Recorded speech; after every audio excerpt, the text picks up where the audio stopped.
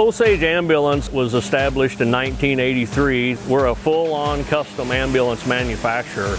The sales and service uh, with Miller, the reliability, all of those things are kind of something that we weigh heavily on. What my job consists of that I use my welder for most is building the outriggers or body mounts. They're angle pieces with gussets on them that the ambulance body is actually mounted to the chassis. I build the side walls of ambulances as well as putting the compartments on the side. With the 355, you can adjust every flow of your wire, every flow of your gas, and it's a versatile machine able to easily switch between aluminum and steel. The pulse MIG process, you can weld it much higher amperages and have less distortion in the metal and put less heat in it, but still be able to weld a very thick metal. Just seeing the, the difference between the 355 and older machines, it has better pulse control than any pulse MIG that I've welded with ever.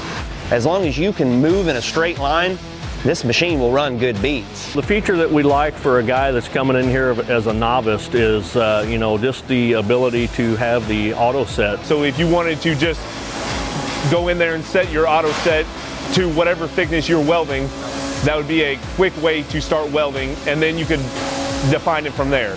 Anybody can use it. You can start off tomorrow and if you ain't never touched a welder in your life, by the end of the day you'll be welding. The flip side to that is, uh, you know, a guy that comes in here a little more experienced, he can go into that machine and really get into the meat and potatoes of the setting. The guys like the ability to go in and adjust the arc control on the machine, uh, and they also like being able to adjust the, uh, the hot start I'm using the hot start feature um, and, and, a lot of the control myself. Uh, I, I, need more wire when I start, I need less wire when I'm going. Set a program for the next thickness of material or the different type of material that I'm welding.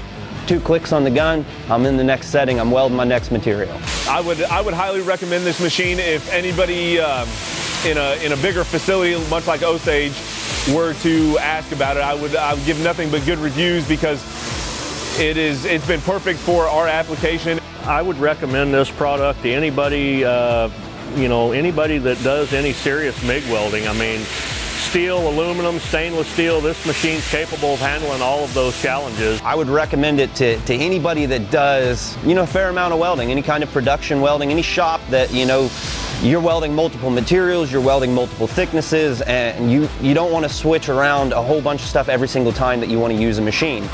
The 355 is the absolute perfect machine for that shop, that setup.